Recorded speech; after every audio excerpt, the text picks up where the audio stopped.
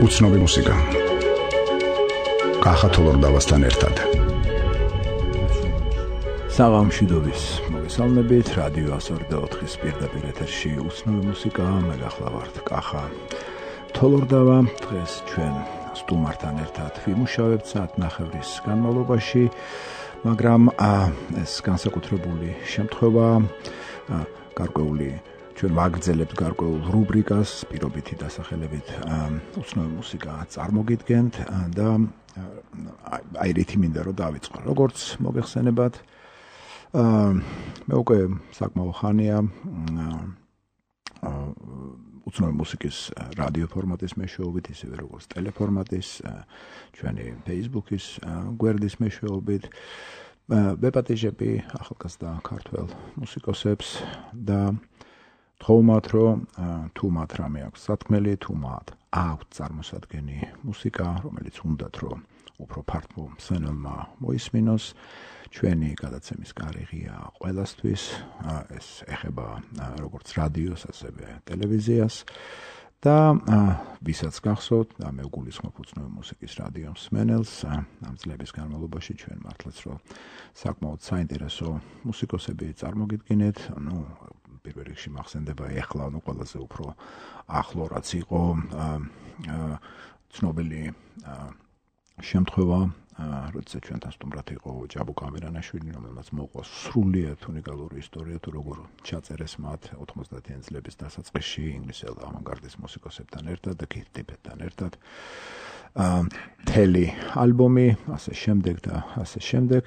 ისე რომ მე კიდევ ერთხელ გავიმეორებ ამ შემთხვევაში ამ კონკრეტულ შემთხვევაში ყველაფერი არ არის დამოკიდებული ჩვენ არჩევანზე მე გულისხმობ იმას რამდენად მოგწონს ესა თუ ის მუსიკა არამედ ჩვენ უბრალოდ გამოვაყებთ გარს და ძალიან დიდი სიამოვნებით მივიღებთ ყველა ქართულ მუსიკოს რომელსაც სურვილი გაუჩნდება რომ გაესაუბროს უცნობ მუსიკას. და აი დღეს კიდევ ერთი ასეთი შემთხვევა. მე მინდა წარმოგიდგინო ჩვენი სტუმარი ათო ზუბიაშვილი ჯგუფ ელსინორის ფრონტმენი დათო ძალიან დიდი მადლობა პირველ რიგში მადლობა იმიტომ რომ შემეხმიანე და ორმაგი მადლობა იმისთვის რომ დღეს ჩემთან ერთად წაუძღვები უცნობ მუსიკას ვინაიდან სწორედ შენ წაუძღვები ამ მუსიკას ვინაიდან დღეს შენ საუბრობ. დათო 9 ტრეკიანი პლეილისტი მოიტანა. მე არ ვარ დარწმუნებული რომ ყველაფერს მოვასწრებ რა თქმა უნდა, მაგრამ ნუ ეს ჩვენთან ხდება ხოლმე. თავარია თუ თავარია საუბრის ხარისხი, ნუ რა თქმა უნდა, ყველაზე მთავარია მუსიკის ხარისხი და აქ უკვე ჩვენ ჩვენი მსმენელი ხართ და ჩარეული ყველაფერ ამაში ერთ-ერთი რაც ძალიან ცუდი არის რომ ჩვენი გადაცემები ძირითადად აი ევროპის ჩემპიონატის ფეხბურთის მატჩებს ემთხვევა, მაგრამ ნუ თქვენ იცით როგორც არის. Music is the best როგორც ამბობენ. დათო მოდი დავიწყოთ ძალიან გამარჯობა. მოდი ზოგადი შეკითხვიდან დავიწყებ. მე მინდა რომ ძალიან მოკლედ მოყვე შენ იმ ბენძე რომლის ფრონტმენის შენ ხარ. რამდენი ხანია უკრავთ? მე ძალიან მაინტერესებს თუ რა არის ის მუსიკალური ელემენტები რასაც ბენდის წევრები გაიზარდნენ ეს ძალიან მნიშვნელოვანია რა არის თქვენი ინტერესის სფერო როგორც ესეთი. და ნუ დანარჩენი ყველაფერი ის რასაც შენ საჭიროდ ჩათვლი აა ჯგუფი არსებობს უკვე დიდი ხანია პრინციპში 2007 წლიდან. ჯგუფი შედგება ხუთი წევრისგან. მე დათვარ ზუვიაშვილი ასევე ყობა ცერიქაშვილი და სარტყამი გოგა სტეპანიშვილი გიტარა. აა ბესოცავა კლავიში და ბესოციკლაური ბას-გიტარა. აა რა შეეხება ეს მუსიკალური პლატფორმა რა არის ძირითადად ცოტა სხვადასხვა გვარის გემოვნება გვაქვს, მაგრამ მთლიანობაში მაინც აი პროგრესიულ როკი, ფსიქოდელიური როკი, პირადად მე ძალიან მიყვარს ფსიქოდელიური როკი და ასევე ძალიან მიყვარს რა თქმა უნდა 90-იან წლების ალტერნატიული ინდი როკი. აა და პრინციპში ჩვენც ზუსტად ვერ ვიტყვი რა რა ჩარჩოში ვზივართ, მაგრამ ალბათ ეს არის ინდი როკი, აა ოღონ ცოტა უფრო გაფართოებული მნიშვნელობით. რას გულისხმობ? ანუ ინდი როკი ვთქვათ პროგრესივის და ფსიქოდელიის ელემენტებით და ვთქვით რომ რაღაცა შეიძლება ქართული ინდიც დავარქვათ რა არ ვიცი ხო როგორ იქნება მაგრამ აა ვთქვით რომ რაღაცა ახალი შემოვიტანოთ ინდი როკში აი მაგალითად ვთქვათ აი გოსპელის ელემენტები გვაქვს ასევე ჩაწერილი არ გვაქვს ეგ სიმღერები რომელსაც ახლა გულისხმობ მაგრამ აა აა ასევე ფოლკის ელემენტები შემოგვაქვს, სხვათა შორის ქართულისაც. ოღონდ აი ეს ქართული ფოლკის ელემენტები, მას პრინციპულად ვაკეთებთ, რომ არ იგზნობა სიღრმეშია. პრინციპულად გვინდა რომ ანუ შენ გულისხმობ, რომ ეს არ არის უბრალოდ ციტატები, რაღაცა ამა თუ იმ რაღაცა ქართული თემებიდან. რა თქმა უნდა. ასაც ძალიან ხშირად მოიხმარენ და ძალიან ხშირად არის ილუზია იმისა, რომ მოიხმარ ქართულ თემებს, რაც სინამდვილეში ასე არის. არა, რა თქმა უნდა, ეს არის მექანისტური მიდგომა, ანუ ჩვენ ვთვლობთ, რომ უფრო უფრო სიღრმისეულად მიუდგეთ, ანუ არსობრივი ჭრეტა განვახორციელოთ და არა ფორმის მიბაძვა და ნუ რაც ნიშნავს იმას, რომ ნუ თქვენი აკუსტიკური ინტერესები მართლაც საკმაოდ ფართოა, შენ ახლა ახსენე, რომ ჯგუფის წევრებს სხვადასხვა მუსიკალური ინტერესები გააჩნიათ, რაც ძალიან ეხმარება მე რომ შემეკითხო ნებისმიერ ბენდს იმისთვის, რომ შექმნან ის პროდუქტი, რომელიც მართლაც რო შესაძლებელია საინტერესო, იმიტომ რომ მოგეხსენება, რომ რაღაცა კულტურულ ვაკუუმში არაფერი მნიშვნელოვანი არ იქნება, ისე რომ ეს ყველაფერი ძალიან ძალიან მნიშვნელოვანი არის. რა სიტყოდი და რისი თქმა გინდა კიდევ შენ ბენდზე, რაც რასაც ჩათვლი რო აუცილებელია. მაგალითად იგივე აქტუარად ჩაწერილი ალბომი აპირებ თუ არა რამდენი ასე შემდეგ. რა თქმა უნდა. ალბომი ჩავწერეთ, ჩავწერეთ ალბომი, აი მოვიტანეთ ეს რაღაც რაღაც ეს პრინციპში ჩვენ სწორედ წარმოვადგენთ ერთ ალბომს რამდენადაც მე ვხვდები ხო? კი, პრინციპში ხო, არასრულად კიდე ერთი ორი სიმღერა აღარ წამომიღია, მაგრამ ჩავწერეთ ასევე ახალი სიმღერა Now is the time, რომელთაც ალბათ პირველი ტრეკი ალბათ ეგ იქნება. აა სხვათა შორის now with this time now is the time-ში ტექსტში ლაბარაკი არის რომ დრო მოვიდა გამარჯვების და აი ესპანეთს მოუგეთ. ხო და აი რაღაცა შეიძლება ეგ ამბავით არის და ის არის რა ქვია ალბომი ჩავწერეთ კი ჩავწერეთ სანდა სტუდიაში. დიდი მადლობა მათ ამისთვის და კერძოდ ირაკლი მომსადეს ამისთვის. და ჩავწერეთ ახალი სიმღერა, ეს Now is the time, რომელიც გავა და ეხა ვაპირებთ უბრალოდ გადავიღეთ. კლიპი გადავიღეთ Now is the time ისევ. და ნუ მონტაჟის პროცესში არის და ნუ წესით მალე იქნება, როგორც რეჟისორები როგორც იზავენ. აა ხო, ასევე მინდოდა მეთქვა რომ დიდი მადლობა მინდა გადაუხადო სავაჭრო ცენტრ საბას. იმიტომ რომ მათ დაგვითმეს ადგილი სადაც გადავიღეთ ეს კლიპი და განახლებული საბა ასწორებს ძალიან კარგი. კარგი, მოდი იცი რა ვქნა ჩვენ ნელა უკვე რაღაცნაირად შევეპაროთ მუსიკას. გადაცემის მზადების პროცესში, როცა ჩვენ პირველად შევხვდით ერთმანეთს, მე შენ შემოგთავაზე რომ შენ თვითონ შემოგეგდო გადაცემაში რაღაც თემები, რომელიც ჩვენთვისაა მნიშვნელოვანი იმისთვის, რომ ჩვენ საუბარი გამოგვივიდეთ, გამოგვივიდეს. მოდი ასე მოვიქცეთ ამ თემებს ჩვენ აი ამ პირველი ტრეკის შემდეგ მიუბრუნდეთ. მე კიდე შეგახსენებთ, რომ რადიო 104-ის პირდაპირ ეთერში უცნობი მუსიკა, მე დღეს ჩემი სტუმარი გახლავთ ბატონი დათო ზუბიაშვილი, ჯგუფი ელსინორის ფრონტმენი და პირველი ტრეკი, როგორც უკვე გითხარით, დათომ თვითონ მოიტანა 9 ტრეკიანი ლისტი და მოდი ნელ-ნელა შევუდგეთ მუსიკას, ვინაიდან დღეს ჩვენ თელი საათნახევრის განმავლობაში სწორედ ჯგუფ ელსინორს უსმენთ. Now is the time. thank you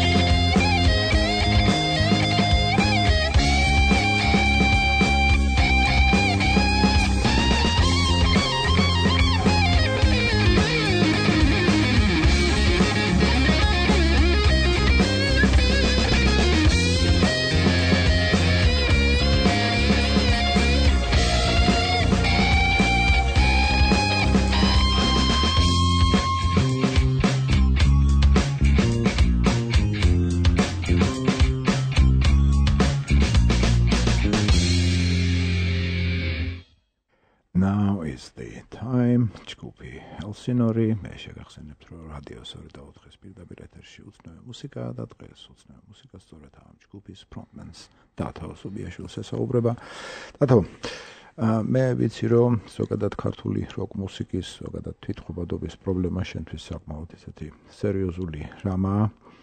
ამ კიდე შევახსენებ ჩვენ სმენელს რომ სწორედ ამ პირველი ტრეკის დაწყებამდე მე უკვე თქვი რომ ეს თემები, რასაც დღეს ჩვენ შევეხებით, პრინციპში შენი შემოგდებულია გადაცემაში, მაგრამ და უკვე ალბათ შეგვიძლია ამაზე დავიწყოთ საუბარი, მაგრამ მე ჯერ მაინტერესებს თუ რა პრობლემების წინაშე დგას პირადად თქვენი ბენდი, რა არის ის ხედვა, რაც თქვენ გაგაჩნია და რა არის ის სივრცე, სადაც თქვენ მოვაწევთ. აა პრობლემები ნუ ბევრია, რა თქმა უნდა. მაგრამ ნუ ვთქვით რომ აი ეს პრობლემებზე ბევრი არ ვილაპარაკოთ ხოლმე რომ თავს არ მოვახვიოთ ეს პრობლემები ახლა მსმენელს. აა და ნუ გამოწვევები ძალიან ბევრი არის და ნუ ვთქვით რომ გადავლახოთ რა. არა ამაზე საუბარი საკმაოდ საინტერესოა რა თქმა უნდა ალბათ ალბათ არა ისე სიღრმისეულად მაგრამ ყოველ შემთხვევაში ძალიან კარგი იქნება თუ შენ შენ ხედვას რაღაცნაირად გააჩენ თუ როგორი არის დღესდღეობით ქართული როკ სცენა ძალიან საინტერესოა ეს. აა ნუ როკ სცენა ნუ ძალიან ძალიან რთულად არის რა ამან ამბავი. დავიწყოთ იმით რომ ისე ვარ თვითყოფადობა შევიყოთ ანუ აქ თვითონ მუსიკოსში მუსიკოსებშიც არის პრობლემა. ანუ იქედან გამომდინარე რომ ძირითადად ხდება თქვათ რაღაცა დასავლური საზღვარგარეთული ჯგუფების კოპირება. აა ანუ თვითყოფადი მუსიკა არ კეთდება და აქედან გამომდინარე ვთქვათ აი რატომ უნდა მოვიდეს ხო? მუსიკოსი შენს კონცერტზე როდესაც ვთქვათ რაღაცა ჯგუფის 1000-ე 1000-ე კოპია ხარ და თან თან ნაკლებად ხარისხიანი თან ნუ არ გამოდის იმიტომ კი არა რომ შენ არ გინდა უბრალოდ ნუ არ გამოდის აქ ნუ არ არის პირობები რომ ეს ისევე ხარისხიანად და პირველ წყაროს მოისმენს ადამიანი ხო წავა და ანუ ჩვენ ვცდილობთ რომ რაღაცნაირად არ ვიცი აი აა შევქნათ ისეთი ველი რომ ისეთი ჯგუფი ჩვენი სახით რომ რაღაცა მიმართულების ან რაღაცის პირველ წყარო მაინც იყოს ნუ მე სრულიად დარწმუნებული ვარ, რომ ძალიან ბევრი ქართველი როკ მუსიკოსი ამაში შეგედავება გულისხმობ რას, რომ ნუ ძალიან ბევრი მიიჩნევს, რომ ისინი საკმაოდ თვითყოფადები არიან, ანუ რაც ჩემთვის სრულიად გასაგებია და მაინც ქართულ დღევანდელ როკ სცენაში, რომელიც რამდენიც მე ხვდები, კონტექსტი სრულიად შეცვლილია, ერთი იყო 70-იანი წლები, 80-იანი, 90-იანი, რა თქმა უნდა, მე ეს ყველაფერი ძალიან კარგად მესმის. მაგრამ რა არის ის რა თვითყობადობის გარდა რაც თქვენთვის პირადად თქვენთვის ძალიან ხელი შემშრელია მე ძალიან კარგად იგივე თქვათ მაგალითად რამდენად ხშირად ახერხებთ მაგალითად ლაივის დაკვრას. რამდენად გიადვილდებათ ურთიერთობა მათთან ვინც რაღაცნაირად გეხმარებათ ალბომების ჩაწერაში. ასე შემდეგ ასე შემდეგ ეს მნიშვნელოვანია. ჩვენთან ეს სქემები არ არის დაალაგებული ისე როგორც მაგალითად დასავლეთში ხო. რა თქმა უნდა რა თქმა უნდა ну საშინლად საშინლად ლაივების ჩატარებას ну ძალიან რთულად ვახერხებთ სადაც უკვე არის ხოლმე უკვე ლაივი უკვე ну უზრუნველყოფილი სადაც არის ანუ იქაც ძალიან გვიჭირს მოხვედრა იმიტომ რომ ძირითადად ხოლმე თქვა მუსიკალური თქვათ აკუსტიკური ველიდან კი არ და მუსიკის ხარისხიდან და რაღაციდან კი არ ზომავენ, არამედ ნუ რაღაცა წრიდან და რაღაცა რაღაც წრის წარმომადგენელი უნდა იყოს და რაღაცა ვიღაციანი ვიღაცის იანი უნდა იყოს და ანუ და ძირითადად ეგ გვიშლის ხოლმე ხელს მოხვედრაში სხვადასხვა კონცერტზე რა. და და ვახერხებთ ხოლმე დამოუკიდებელი რა თქმა უნდა. ნუ ზოგადად აი ჩვენ პრინციპში ალბათ სხვებიც ალბათ არა დარწმუნებული ვარ, აი ნამდვილი დამოუკიდებელი ჯგუფი ვართ, რომლებიც ჩვენ თვითონ როგორც თქვათ აი 90-იანების დასაწყისში 80-იანების ბოლოს იყვნენ Stone Roses და რა ვიცი, აი კიდევ Smiths და ნამდვილი კიდაც ოაზისი რომლებიც თვითონ თვითონ გაიკვალეს ფაქტურად მაგ ბიჭებმა გზა წარმატებისაკენ. ხო არავინ არის აუთსაიდერები იყვნენ ყოველთვის ყველგან და ნუ მე ისე მოხდა რომ თურმე მაგარი ბიჭები აღმოჩნდნენ და უცნა ხო. რა არის თვითყובადობის ის ელემენტი? მე ჩემს ძალიან კარგად გასაგებია რას გულისხმობ, მაგრამ რა არის ის ელემენტი, რაც თქვენ გაფიქრებინებთ, რომ თქვენ ჭეშმარიტად თვითყובადი ქართული ბენდი ხართ? იმიტომ რომ ну პირველ რიგში რა თქმა უნდა ჩემთვის პირველი შეკითხვა ეს არის რომ მიუხედავად ამისა თქვენ მაინც ინგლისურად ღერი ხართ. ეს მნიშვნელოვანია. ამაზე ცალკე ვისაუბროთ, იმიტომ რომ ეს ჩემთვისაც ძალიან ესეთი ის არის, საინტერესო საკითხი არის. აა რა არის ის ელემენტები, რაც თქვენ მიგაჩნიათ, რომ თქვით ყოფადად ხდით? მუსიკალური თვალსაზრისით ის რო ანუ ჩვენი ვთქვათ კომპოზიციური პროგრესია და სტილისტიკური სინთეზი აბსოლუტურად ავთენტური არის. თქვით ყოფადი არის აბსოლუტურად. არავის არ აქვს ეგეთი. აჰა. ანუ მარტო ჩვენ გვაქვს რა, არც იქეთ, არც აქეთ, არსად, ანუ ცუდია, კარგია ეგ სხვა თემა არის ახლა ის მოეწონება, ის არ მოეწონება, ეს სხვა თემაა, ყველას თავის გემოვნება აქვს, მაგრამ ნუ ეს არის ესეთი რა. და ანუ აქედან გამომდინარე, ანუ ის ის ანუ ერთ სიმღერაში ვთქვა ჩვენ სხვადასხვა ეპოქის მუსიკა შეგვიძლია ვთქვა შევთავაზოთ მენელს და რაც მთავარი არის, ანუ ჩვენ კონცერტზე რომ მოდის ადამიანი, ის დარწმუნებული არის იმაში, რომ მას ექსკლუზივი აქვს. სამყაროს შუაგული და მომავალი და კოსმოსის სიღრმიდან სხვათაშორის. ო, ეს უკვე ძალიან ისეთი ბურუსით მომისარი რა ხო? ბურუში გახვეული სტეიტმენტია ეს, რომ თუ თუ გნებავს ესეც განმარტე. აჰა. ხო და ხო არა, ანუ თვითონ შემოქმედებითი თვალსაზრისით ვიძახი, ანუ ჩვენ ნამდვილ ხელოვნებას ვაასოცირებთ იმასთან ხელოვნებას, რომელიც შთაგონებით, ზეშთაგონებით იქნება და მე ასე უყურებ ნამდვილ ხელოვნებას, რომ რაღაც არ ვიცი სამყაროს თავისუფალი თეოსოფიური დამოკიდებულებით იქნება ჩვენი მუსიკა. ნუ ეს რაღაცა უკვე კონცეფციებზეა საუბარი, რაც ეს ერთია, მაგრამ ნუ ძალიან ხშირად მსგავსი ტიპის კონცეფციები ხელს უშლის რაღაცა მუსიკის დინებას ხოლმე. ძალიან ბევრ ჯგუფს მოუტეხი ამაზე კისერი, ალბათ თქვენ თქვენ ეს გეწონინებათ, ხო? იგივე რამდენადაც ჩემს ნობელი ჯამთელობასთან პირდაპირ პირდაპირ დაკავშირებული. ეცი რა მინდა გთხოვო, რომ მოდი ჩვენ რაღაცა ესეთი გავაჯეროთ ხოლმე ჩვენი საუბარი საუბარი მუსიკით და ეხლა თავში მომივიდა რომ ძალიან კაი იქნება თუ ნების შემდეგ ყოველ შემდეგ კომპოზიცია შენ თან წარმოადგენ იმიტომ რომ თუ შენ რაღაცა გაქვს სათქმელი ამა თუ იმ სიმღერაზე რა თქმა უნდა ამას ჩემზე უკეთეს თითქოს და შეიძლება ესეც დაემატოს აი ჩვენ საუბარს და უფრო რაღაცნაირად ხო გაშალო. მოდი ცოტა ხანი შევწყვიტოთ მოდი დავატრიალოთ კიდევ ერთი სიმღერა. შემდეგი ტრეკის სახელწოდება Fantastic Land. და არის თუ არა რამე რაც შენ გინდა რომ ამ კომპოზიციაზე თქვა? ო ამ კომპოზიციაზე ძალიან ბევრი თქმა შემიძლია იმიტომ რომ მთელი კონცეპტუალური თემა არის იმიტომ რომ ამ ორ კუპლეტ კუპლეტში ну სამში ალბათ გამეორებების გარდა აა მოქცეული მაქვს ძალიან დიდი ესეთი ინფორმაცია. და თუ შემიძლია მთლიანად ჩამოვაყალიბო თუ შენი სურვილია რა თქმა უნდა. თუ შენ ამას საჭირო თვლი. ეს ეს ესე იგი ავიღე იქედან რა. now i can see fantastic land i saw the rolling grain of sand არის პირველი და მეორე სტროფი იმის ტექსტის და I saw the rolling grain of sand as William Blake-ის Ogeries of Innocence. ქართულად იქნება ალბათ უმანკოების ნასარმეტყველება არ ვიცი ხო. აა მაკედან არის აღებული და ანუ ეს ახლა როგორ როგორ ჩამოვაყალიბე როგორ? რომ მისი ცნობილი ფორმულა ჯიმ მორისონის იყენებდა ხოლმე რომ uh if the doors of perception were cleansed uh, everything will appear to აი ეს უკვე უნდა მოგიწევს რომ ქართულად თარგმნო იმიტომ რომ ჩვენმა მსმენელმა გაიგოს რაზეა საუბარი. აა როდესაც შემეცნების კარიბჭე გახსნილია, ყველაფერი წარუდგება ადამიანს ისე როგორც არის სინამდვილეში უსასრულოდ. და ანუ ეს არის ამ თქო და ამ შემეცნების კარიბჭის გაღების ხერხი აქვს მოქცეული ჩემი აზრით ამ უმანკოების წინასწარმეტყველების პირველ კუპლეტში, ანუ to see the world in a grain of sand and the heaven in a wildflower, hold infinity in the palm of your hand and eternity in an hour. მამას ვერ გადავთარაგმნე. ეს ესეც ვიცოდი რა თქმა უნდა. პროსტა ამას ვერ გადავთარაგმნე. კი გადავთარაგმნე, მაგრამ ახლა ვილიამ კარგი, კარგი. თარგმანის ვებისთვის.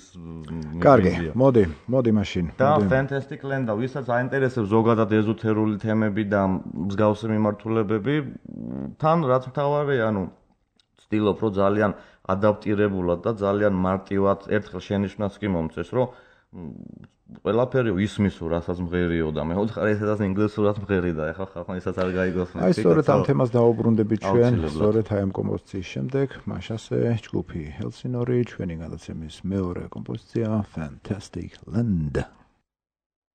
I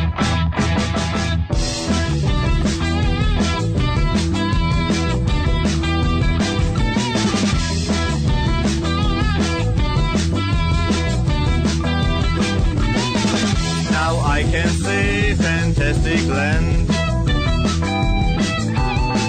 I saw the world in grain of sand. Now I can see fantastic land. Now I can feel which way is mine. I saw the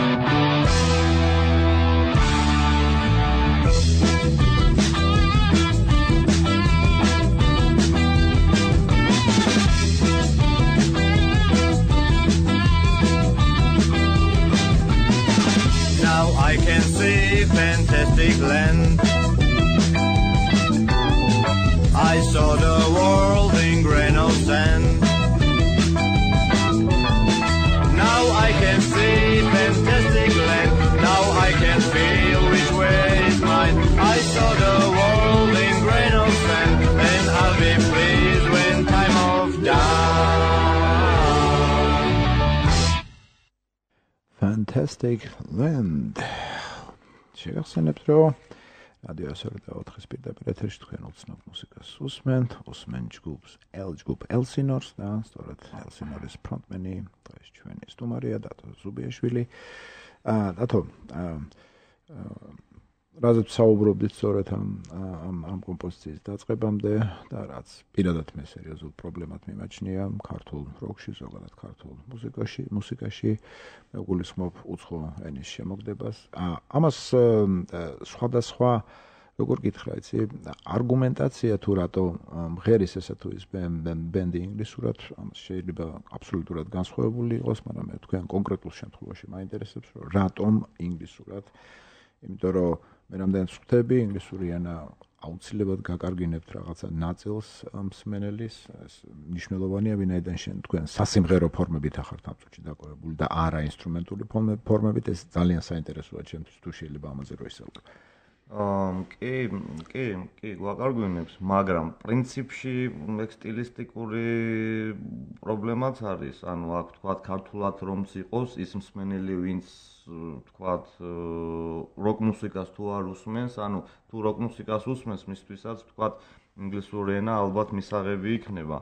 მაგრამ მეუხედავად ამისა, მე ისი თქმა მინდა, ანუ რო თვითყოფადობაზე რო წავიდა, უთქვამთ მანამდე, რომ აი თვითყოფადი როგორ, როდესაც ინგლისურად. და ინდივიდუალურად თვითყოფადი არის. იქიდან გამომდინარე, რომ ინდივიდუალურობა, ну, ეთნიკურობასაც მოიცავს ხო თავის თავში და ეროვნულობასაც თავის თავად და ანუ აქედან გამომდინარე, ანუ ინდივიდუალურად არის თვითყოფადი და ანუ მიუხედავად იმისა, რომ უცხო ენაზე სრულდება ინგლისური ენა და პრინციპში ინგლისური არც ერთი უცხო ენა იმის გარდა რომ საერთაშორისო ენა არის, ну, ну მან როგორ არის ეცი, ну ახლა მე ჩემი ახალგაზრდობა მახსენდება, სანამ უკვე ინგლისური ჩემთვის რაღაცა მეორე ენა გახდა. მელოსის ძალა იმდენად დიდია, რომ თუ ხარისხიან რაღაცა პროდუქცია საუბარი, არანაირი მნიშვნელობა არ აქვს იმას, თქვა, ბევრისთვის და მთელმა მსოფლიომ ისე უსმინა იგივე ბობ დილანს, რომლისთვისაც თქვა, მაგალითად, რომლის ვერბალური ნაწილიც ახლა ძალიან კარგად ვიცით, რომ მნიშვნელოვანია. რომ საერთოდ საერთოდ თავში არ გაუვლია იმაში, ხო? ანუ ეს რა თქმა უნდა, მე მგონია რომ 60-70-იან წლების და ჩვენი თაობის და ზოგადად საბჭოთა სივრცის და საკმაოდ ისეთი ის არის რაღაცა ნაწილია. თქვენ შემთხვევაში ეს ალბათ უფრო ჩემთვის უფრო პრაგმატული შეკითხვა იყო, ვინაიდან ის თემები რაც შენ ახლა დაასახელე, ხო, რომელზეც თქვენ ცდილობთ რომ იმუშაოთ, რომელიც მუსიკის მიღმაა, რომელიც ძირითადად წარმოადგენს რაღაცა კონცეპტუალურ ნაწილს თქვენ იმას, ხო? ნუ ბოლო-ბოლო ამას აკეთებთ, იმიტომ რომ თქვენ გინდათ, რომ ეს ყველაფერი მივიდეს თქვენ მსმენელამდე. ამ ყველაფრის დაჭერა ძალიან ბევრისთვის მიუხედავად იმისა, რომ ინგლისური ენა, ნუ, მოდი ესე ჩავთვალოთ, რომ ახალგაზრდებმა რა თქმა უნდა, ბევრად უფრო კარგად იციან, ვიდრე ჩემ ასაკში, რა თქმა უნდა.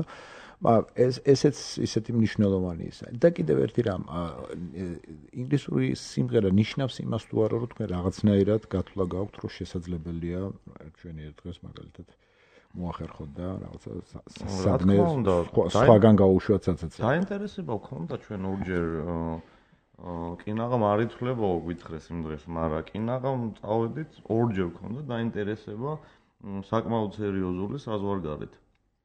აა და რა თქმა უნდა, კი, ანუ საზღვარგარეთ აა როგორც კი სადაც მოხდა ანუ ჩვენი დისკი აა ყველგან მოწონებას იმსახურებს. აა სადაც მოხდა, საზღვარგარეთ. სადაც მოხდა. ყველგან დაიმსახურა მოწონება და ანუ კი, კი, რა თქმა უნდა, სუფთა პრაგმატული გაცვლაც გვაქვს, რა თქმა უნდა, რომ და ვფიქრობთ, რომ ალბათ მოხვდებით საზღვარგარეთ. ნუ ყოველ შემთხვევაში ძალიან გვინდა და ძალიან ვცდილობთ. ქართულ ვერბალურ მასალასთან ანუ თქვენ არ მუშაობთ. ანუ ქართული ტექსტები ჯერჯერობით. ახლა როგორ არის იცი? თვითონ ანუ პირადად მე ანუ ქართულად ლექსებს აწერ და მესმის, მესმის, არა მე არ ვერ ვამღერებ, ანუ იცი როგორ არის? აი რახან თან აი ინგლისურად წამოვიდა რა, ეს მუსიკის წერა რომ დავიწყე, ანუ მე აი ესე წამომივიდა, ინგლისურად წამომივიდა და ალბათ ერთი რამ ერთი რამ რაც ახლა მინდა რომ უბრალოდ ეს ისაკ შეგეკითხო, რომ რამდენად დემოკრატიულია თქვენთან ბენჩი ზოგადად მუსიკის კეთების პროცესი, ეს მაინტერესებს. უი, უი. მმ იცი როგორ აი ესეთი თემა არის. დემოკრატიული ზოგადად ჩვენ ვცდილობთ რომ ვცდილობთ რომ მიკრო დემოკრატიული ის ვიყოთ საზოგადოება ვიყოთ და ვართ კიდევაც. ძალიან ვცდილობთ რომ რა თქმა უნდა რომ დემოკრატიის გარეშე თან მუსიკა არ არსებობს მაგრამ მაგრამ მუსიკის წერა მუსიკის კეთება ისეთი რამე არის რომ თქვა ხუთი კაცი მუსიკას ვერ დაწერს ვისაც უმუშავია მუსიკაში ხა ყველა მიწის არ არსებობს, ну მაქსიმუმ ორი კაცი. ანუ რა თქმა უნდა, ყველა შეაქვს თავის წვლილი და პარტიას თქვა ყველა აკეთებს, მაგრამ რაღაცა ძირითადი იდეა, ანუ ძირითადი იდეა, ძირითადად ერთმა კაცმა უნდა მიიტანოს, ну მაქსიმუმ ორმა მე შეიძლება თქვა მე იცვლება რა თქმა უნდა ტრანსფორმაციას განესტის სუ სუ სუ პროცესი ანუ შემოქმედება ისეთი რამეა მაგრამ არ შეიძლება ზოგადად როგორც მუსიკა ისევე რაღაცა ნებისმიერი კონცეპტუალური იდეა რომ 10 კაც ერთად მოუვიდეს თავში ერთს მოზდის და ანუ მე ნუ ეგრე ხდება რა და მე მესმის ეს მაგრამ დემოკრატიულია პროცესი ყველა ვარიანტი. ანუ ეს იმას არნიშნავს, რომ აი მე უნდა ვაკეთო, ან შენ უნდა აკეთო. კარგი იდეა, ვისაც მოვა, აკეთებს ის. ანუ ეს გადის ყველა ვარიანტში. რა თქმა უნდა, რა თქმა უნდა, რა თქმა უნდა. მაგრამ ძირითადად ზოგადად კომპოზიტორი კომპოზიტორების პროცესზე მაქვს საუბარი, რაღაც რაღაც ახალი კომპოზიციები შენ მიგაქვს თუ ბენდის სხვა წევრებს. არა, არა, ეს სიმღერები ჩემი დაწერილია. ანუ თქვენ რაღაც ოპერირებთ როგორც გაერთიანებული ერების ორგანიზაცია და შენ ხარ შეერთებული შტატები, ხო? შეიძლება ეგრე ითქვას. შეიძლება ეგრეთ ითქვას. აი, დათა მოდი წარმოვადგინე კიდე შემდეგ შემდეგი სიმღერა. აჰა. აა, ეხა იქნება ჩვენი ისეთი აა სხვათა შორის ძალიან, ну, ძალიან პოპულარული ეხა ვერ ვიცი, ძალიან პოპულარული ეცოდინებოდა ხალხს, მაგრამ ეს არის, რა ქვია, ну, სიმღერა, რომელიც ისეთი გაგვიხით დასავით რა, Little Joy, რომელიც ძალიან მოწონს ხალხს და ადამიანები უკრავენ ამ სიმღერას და ჩვენც ძალიან გვიყვარს და სხვათა შორის ესაც ტექსტი არის ეს დაიწერა ლექსად. ანუ აა თავიდან ტექსტი და ლექსად დაიწერა და მე მე დაედო ამ სიმღერას. აა და საინტერესო ისაც პოეზია აინტერესებს და მოწონს ტექსტიც ძალიან საინტერესო იქნება. ძალიან კარგი. მაშასე ჯგუფი Elsinore a little joy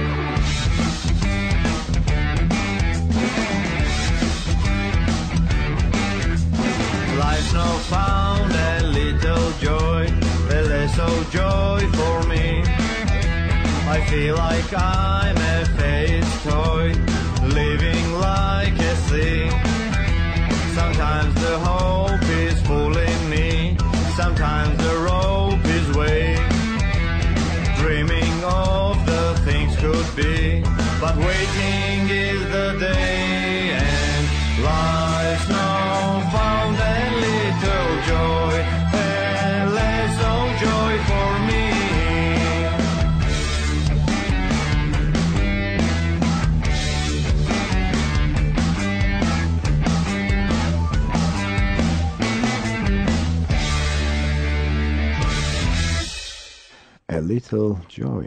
და მე იმედი მაქვს, რომ თქვენ ძალიან გმაყოფილებ წანდებით, ვინაიდან დღეს ჩვენთან სტუმრად გახლავთ დათო ზუბიაშვილი, ჯგუფი Elsinore-ის ფრონტმენი და დღეს ჩვენ მთლიანად საათახრის განმავლობაში სწორედ აი ამ ბენდის მუსიკას უსმენთ და მოდი დათო ჩვენ გავაგრძელოთ საუბარი აა კიდევ ერთი ის თემა, ის თემა, რომელიც შენ შემომთავაზე და მისი ფორმულირება ძალიან მარტივად შეიძლება შენ არაერთხელ გითქვამს ჩვენ აი რაღაცა ერთი ორ შეხვედრაში უფრო სწორედ მე ამას მივაქციე ყურადღება რომ დღეს საქართველოში ძალიან скеპტიკური დამოკიდებულებაა ზოგადად როკ მუსიკის და თანამედროვე ხელოვნების მიმართ. ეს რა თქმა უნდა განმარტება საჭიროებს და რომელიც შენი არის და თუ შეიძლება რომ ამაზე ვისაუბრო. კი, კი, რა თქმა უნდა, ეს скеპტიკური დამოკიდებულება ძალიან რთული რამე არის. ადამიანები არიან, ძირითადად ყველა არა, მადლობა ღმერთს, რა თქმა უნდა, მაგრამ პირდაპირ მткиცეთ არიან ნეგატიურად განწყობილები რაღაც აი ქართველი მუსიკოსების მიმართ და ამ დამოკიდებულების გადალახვა ძალიან რთულია, იმიტომ რომ ესე იგი ჯერ მუსიკის ხელოვნებამდეც ვერ მიდიხარ, ანუ ჯერ ამ დამოკიდებულების გადალახვა გიწევს და მე აწოდებ მუსიკას. ანუ ზოგადად ძალიან ბევრი უსმენე ხოლმე, იმიტომ რომ არ მოეწონოთ.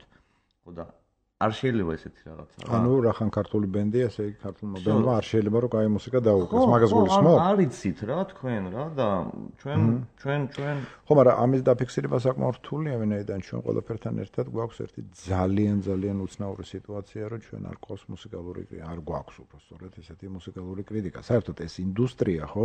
მე ყოველთვის მიკოს შოლმე, როდესაც ამბობენ, რომ თქვათ მაგალითად არ არსებობს შოუ-ბიზი, არ არსებობს ეს, არ არსებობს.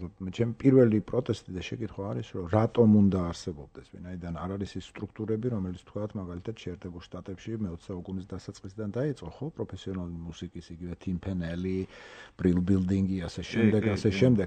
ისე რომ იმ სახით, რა სახითაც თქვათ მაგალითად ზოგადად ეს ინდუსტრია არსებობს, ხო, დასავლეთში. ჩვენთან ელემენტარულად ვერ იარსებებს. ამიტომაც რა სახით შეიძლება რომ არსებობდეს ესა? თუ ამდე ესეთი скеპტიციზმი არის, ხო, ეს მე რამდენს ხვდები შენ არ გულისხმობ მარტო თქვენი ბენდის მიმართ. არა, რა თქმა უნდა.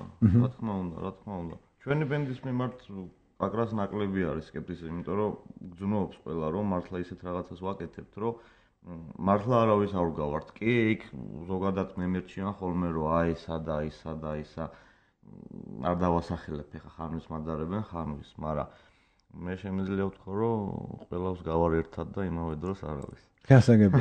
გავაგზავნოთ საუბარი და რას უშლის ეს скеპტიციზმი, ანუ ეს ამდენად შესამჩნევია, იმდენად შესამჩნევია, რომ შენ რა თქმა უნდა, ეს არის ეს არის თავი და თავი, ჩემი აზრით, რა თქმა უნდა, ანუ იმიტომ რომ ეს ეს скеპტიკური დამოკიდებულება უშლის ხელს ზოგადად ქვეყნის ზოგადად აი იმ ინდუსტრიის განვითარებას უშლის ხელს, იმიტომ რომ скеპტიკური დამოკიდებულებიდან გამომდინარე, ანუ ადამიანი და კრიტიკა, ანუ და ზოგადად კრიტიკის მიმართაც, აი კრიტიკის ცნებაც ჩვენთან ახლა ისმით როგორო?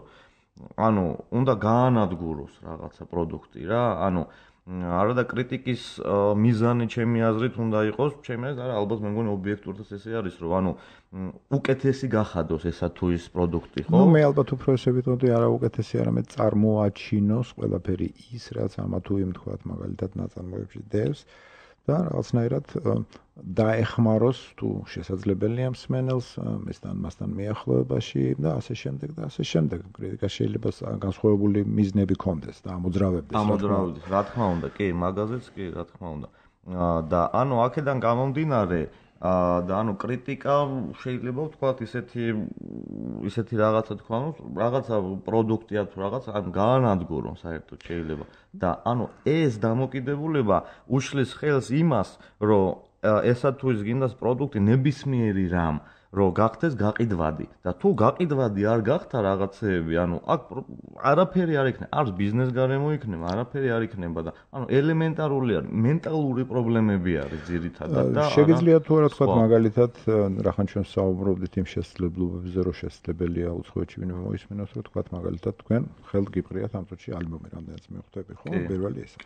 გიცდია თუ არა მისი ონლაინ გაყიდვა? საერთოდ მოხდა თუ არა თქვენი ალბომი რა ტირაჟით გამოვიდა? ძალიან მაინტერესებს და რომელიმე Excel-ში მაინც სადაც თქვენ შეგეძლოთ რომ რაღაცა ფინანსური არა, რა თქმა უნდა, არა. არა, არა, არანაირი, რა თქმა უნდა, ძალიან პატარა ტირაჟით გამოვიდა და ანუ ძირითადად ნუ დარიგდა რა, ასე ვთქვათ.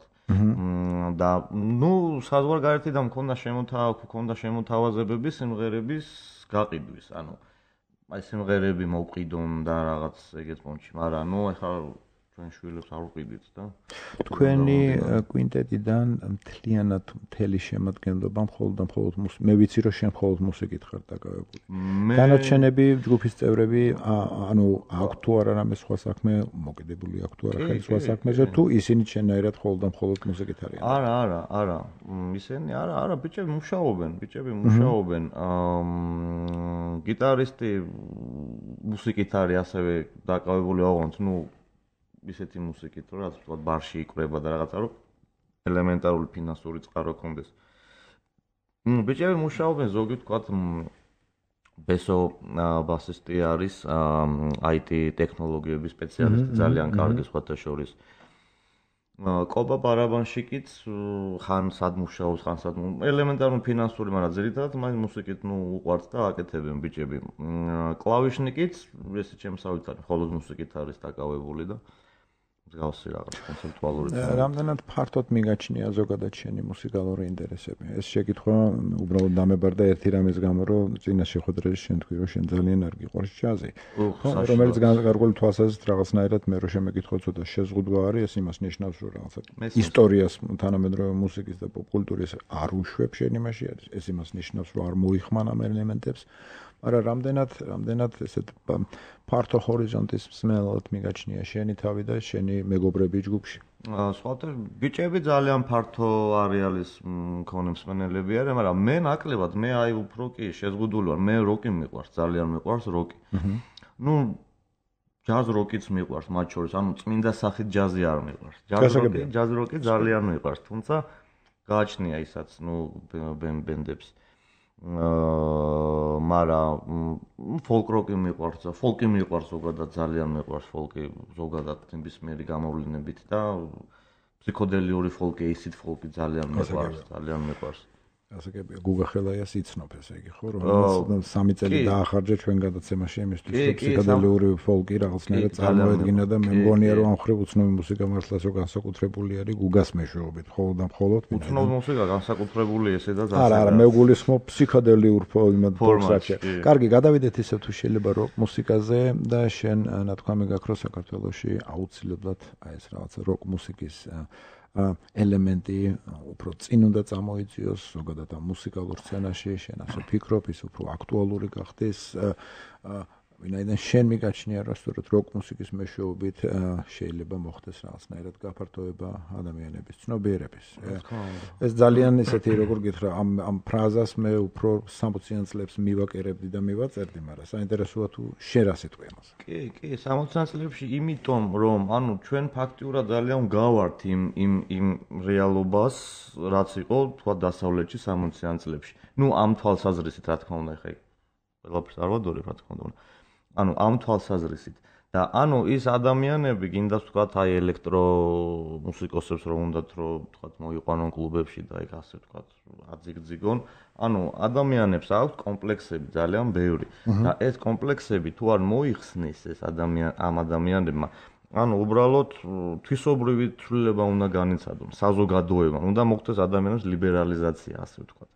და ეს უნდა მოხდეს ცნობიერების გაფართოებით რაც მოხდა იგივე მართლა 60-იან წლებში თქვა დასავლეთში და იცი რა ხო არ ვიცი არ შეიძლება აქ არ შეგედაო იმიტომ რომ 60-იან წლები ზოგადად ნუ თუ ჩვენ ავიღებთ რა თქმა უნდა შეერთებულ შტატებს პირველ რიგში რა თქმა უნდა. პირველ რიგში მაგრამ არა მარტო.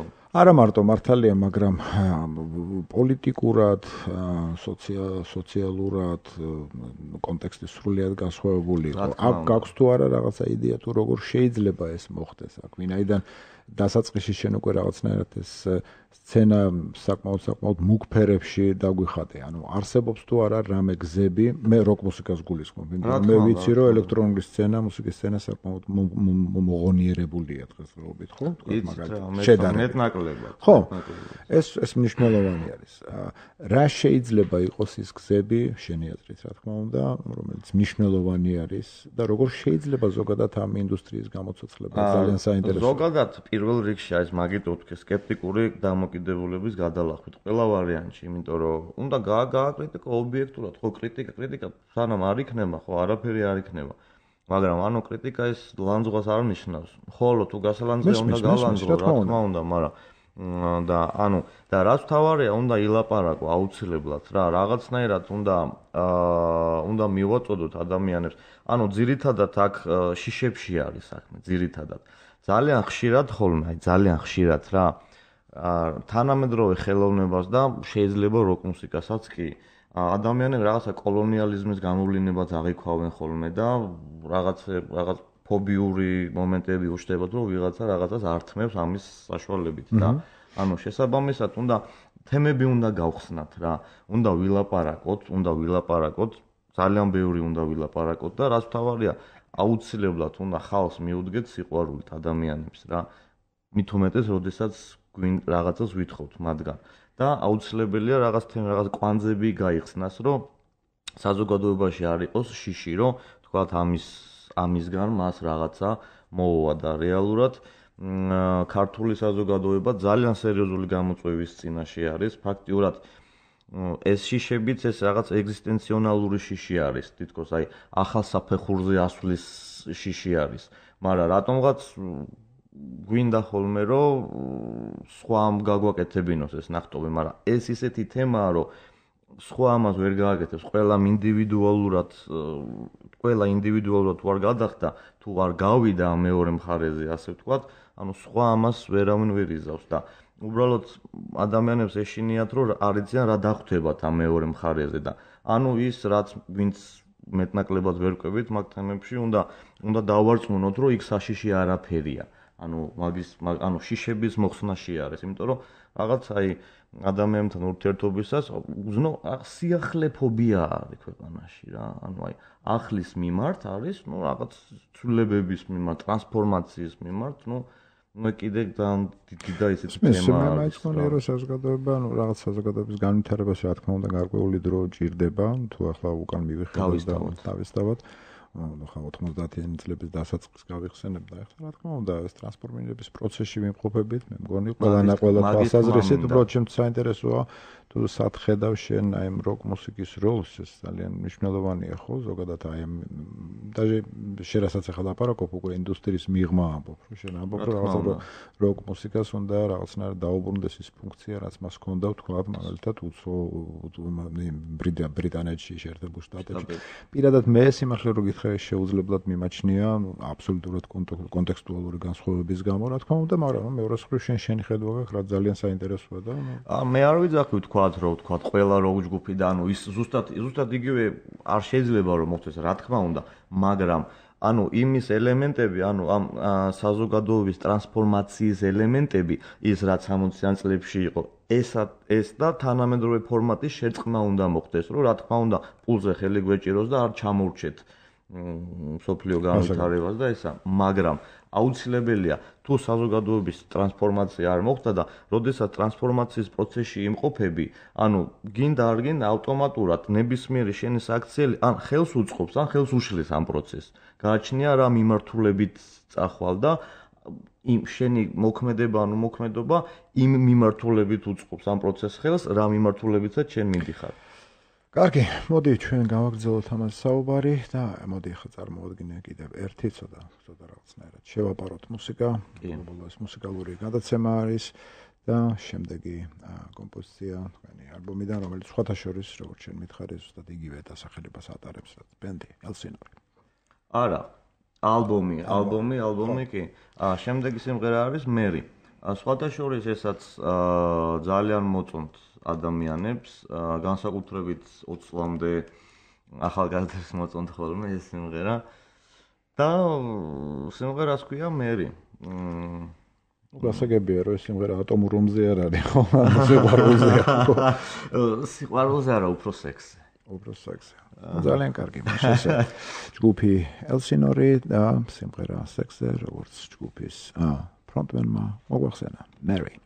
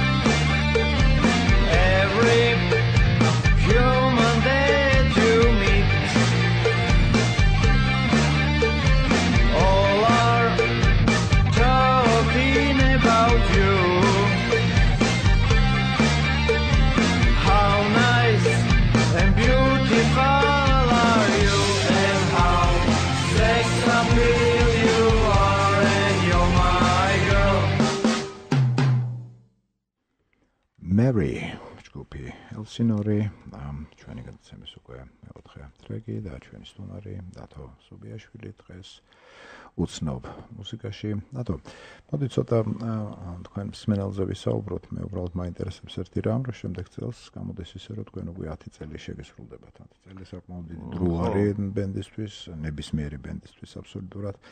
ამიტომ მე მაინტერესებს, რომ რა მოახერხეთ ამ 10 წლის განმავლობაში? შენი აზრით და რა ვერ მოახერხეთ და რა გზას ადგიხართ? ახლა და რა ტიპის მსმენელი ყავთ თუ ესე იგი თუ შეგიძლია რომ რაღაცნაირად დიფერენციაცია მოახდინო თუ ეს რაღაცა თუ ის ერთგვაროვანი სახე არა აქვს მას ვინ არიან ისინი ვინც თქვენ მუსიკას უსმენს ვინც თქვენ მუსიკას ყიდულობს და რაც მაინც თავია ძალიან მაინტერესებს შენ ლაპარაკობდი და საუბრობდი რეაქციაზე თქვა მაგალითად ამ ალბომის ამ ამ ალბომზე. საიდან მოდიოდა? იმიტომ რომ მე მესმის რომ პირადი საუბრები ალბათ, ну ვინაიდან ჩვენ არ აგვაქვს არც ის ჟურნალი, არც ის რაღაცა პრესა, სადაც წავიკითხავთ და რაღაცას გავარკვევთ ამ რაღაც სიახლეებზე, მაგრამ მაინც რა რა დონეზე ხართ რაღაცნაირად გაშვებული აი მუსიკალურ სამყაროში დღევანდელი ქართულში რა თქმა უნდა.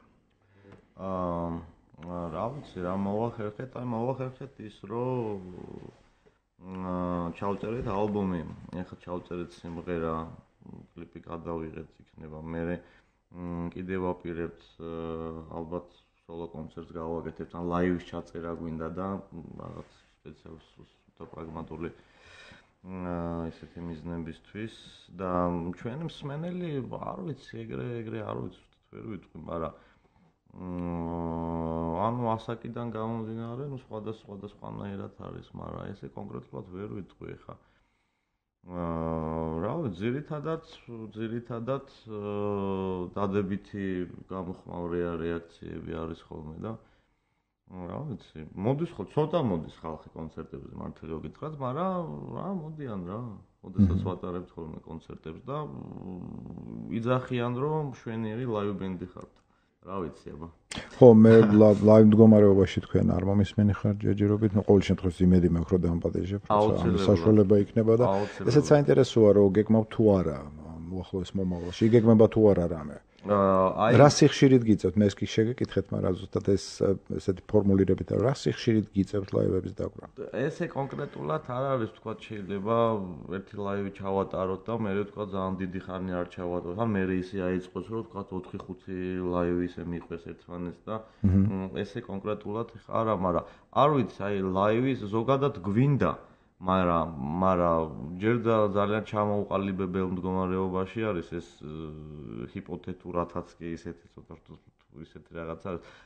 ლაივის შეიძლება სტუდიური ლაივი გადავიღოთ.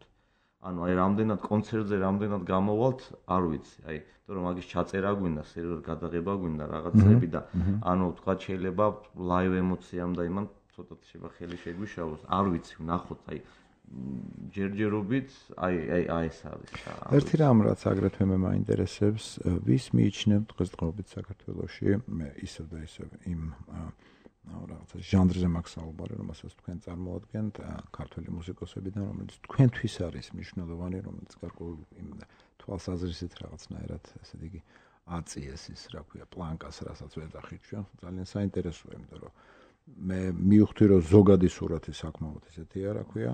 შენ შენ ამათ რაღაცა თვითყობადობას და ნაკლებობაზე საუბრობ მაგრამ ვინ არიან ისინი ვინ შენთვის ქართული როკის ისტორიაში მოდი ცოტა ესე უფრო ხმამაღლა ვთქვა, რომლებიც მნიშვნელოვან მუსიკოსებად მიგაჩნიათ, მას რაღაცა გარკვეული შესაძლებელი. როკ მუსიკოსები, ხო? მე როკზე მოდი დღეს ამით შემოვიფარგლოთ. არ გვინდა ამის მიღმა გასვლა, ხო? მე პრინციპში ეგ მიმართულება მაინტერესებს მართალი რო. ხო, იმიტომ რომ მაშინ მაშინ დავიბნები და რაღაც მივედ მოვედები და მოდი დავჩეთ იმ იმ ჟანრში რა ჟანრში თქვენ მუშაობთ. არა, არა, მშვენიერი ბენდები არა, იგივე ნიკუშა კოჩაროვი ძალიან ძალიან კარგი მუსიკოსი არის და პირადად მე ძალიან მომწონს ნიკოშა და ეხა ევროვიზიაზე რო გავიდა ძალიან ვალეშიკობდი და რაღაცა და მაგარი ბიჭია ძალიან და ნიკოშას მომწონს ჩვენი მუსიკა ჩვენ როგორც ვიცით და აა და ეს ზოგადად ნიკას გასვლა ევროვიზიაზე ზოგადად როკის გამარჯვება იყო და მე ძალიან ვთილობ რომ სულ ყველაზე თქვა დადებითი და რაღაც ანუ ერთმანეთის ეს ერთმანეთის გატანაც იგივე სულთა პრაგმატული დატვირთვითაც ძალიან მნიშვნელოვანი არის. ისე დამოკიდებულებას უბრუნდები ხოლმე, რომ ჩემი აზრით თავი და თავი ეს არის, რომ თუ პროდუქტზე ილაპარაკებ, რომ ცუდია, იმას ხო არავინ არ იყიდის. ხო, მაგრამ ნუ მეორე მხრივ შენ გადაცემის დასაწყისში თქვი, რომ თქვი, რომ ქართულ როკ მუსიკას აკლია თვითყობადობა, რაც თავისთავად გულისხმობს იმას, რომ ეს მოიცავს გარკვეულ რაოდენობის ბენდებს ქართულ ბენდებს, ხო? და იმსახურებს სკეპტიკურ დამოკიდებულებას. მე ხომ მაინტერესებს, თქვათ იგივე ნიკა, გასაგებია, ვინ არიან კიდევ, თქვათ, ქართულ ქართულ მუსიკაში, ვინ შენთვის მნიშვნელოვანი იყო, მოდი შენზე ვისაუბროთ. არიან, იგივე ჯგუფი სანდო ძალიან კარგი ჯგუფი არის, მე მე ძალიან მომწონს. მას კულტურა არის მშვენიერი ჯგუფი. ქართულად მღერიან სხვათა შორის ძალიან ძალიან საინტერესო სიმღერები აქვს და ძალიან ისეთი გულიდან ამოსული სიმღერები არის. ძალიან მომწონდა გოგოების ჯგუფი იყო Mirror Illusion იყო ესეთი, მაგრამ მე მგონი დაიშალოს და აღარ მახსოვს. მშვენიერი გოგოები იყვნენ, საავტორო გრანჟს უკრავდნენ. მე აი საავტორო მე საავტოროს ზე დაციკლული ვარ რა, ანუ საავტორო აუცილებლად ერთი მხრივ არის თვითყოფადობის პრობლემა ხო და ამ ამის თქმაც მინდოდა რომ ანუ ამიტომ უნდა ვაკეთო თვითყოფადი მუსიკა ამიტომ და ანუ მარტო ის არ არის რომ აი ჩემი სიმღერა არა აი ზოგადად მანერულობა რა ისე რომ საერთოდ არაფერს არ გავდეს რა თქმა უნდა შილომ თუ რა ნუ მარტო შენ ხო არა ხარ თან ისეთი ხალხი იყო და ამაზე ცოტა მოგვიანებით ვისაუბრებთ, თუ როცა გადავალთ უკვე იმ გავლენებზე, რომელსაც მე არ მიყვარს ზოგადად ეს სიტყვა გავლენა. არავითარ შემთხვევაში, მაგრამ მე კიდევ ერთხელ გავამეორებ, რომ ნებისმიერი პროდუქტი რაღაცა კულტურულ ვაკუუმში არ აჩდება, მით უმეტეს გამომდინარე თქვენი წლებიდან, ახალგაზრდები ხარ ჯეჯირობით. ეს სრულიად ბუნებრივად მიმაჩნია და მე ამაში საერთოდ ვერაფერ ცუდს ვერ ხედავ. აა ჩვენ დაგვჭა მე გაგაფრთხილე რომ დრო პირდაპირ ეთერში საკმაოდ ჩქარა გარბის ჩვენ გვაქვს კიდე 25 წუთი. ა მოდი კიდევ კიდევ მოусმინოთ რამე შეიძლება რა თქმა უნდა რა თქმა უნდა ვინაიდან მე დღეს სწორედ თქვენ ბენც წარმოვადგენ და ძალიან კარგი კარგი იქნება. ეს მე მგონი თუ არ ვწდები თქვენი ალბომის ყველაზე უფრო გრძელი სიმღერა არის when i saw you. კი ხო? არის თუ არა რამე ისეთი რაც შენ სათქმელი გაქვს ამ სიმღერაზე არა, მოусმინეთ უბრალოდ კარგი სიმღერაა ჩვენი აზრით. როგორი? კარგი. ხო, რა თქმა უნდა. მაშასე ჯგუფი ელსინორი და სიმღერა სახელწოდებით When I Saw You.